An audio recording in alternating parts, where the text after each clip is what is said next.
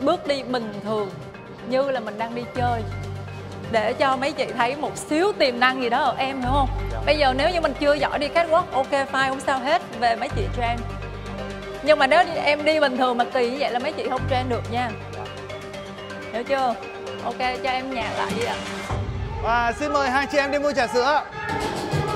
Đi mua trà sữa nè